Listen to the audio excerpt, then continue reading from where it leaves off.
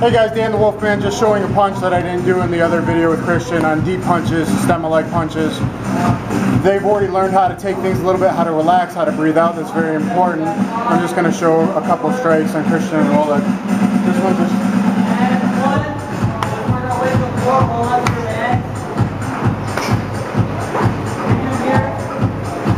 I'm hitting deep in the stomach. I don't care if he's there or not. I try to put him psychologically out of my mind.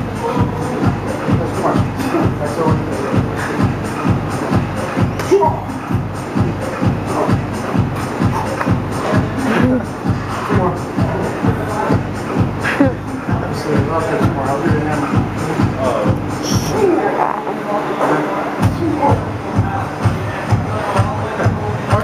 learn how to punch deep, guys, because I'm going to try to teach you guys how to apply these concepts to MMA. So you'll be in the over-under position, you'll be in the ground, you'll be in many grappling positions in the guard.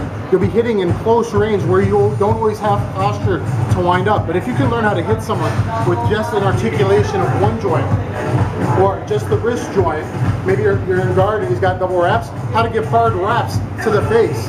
You know, you see some of the Japanese fighters do it, but they don't know how to do it with power. How to give power wraps with just wrist motion. Okay? Or articulate in the over-under position. Or shoulder hits. And then you can move your whole body like a loose wave and damage real power. Here, the bag one second.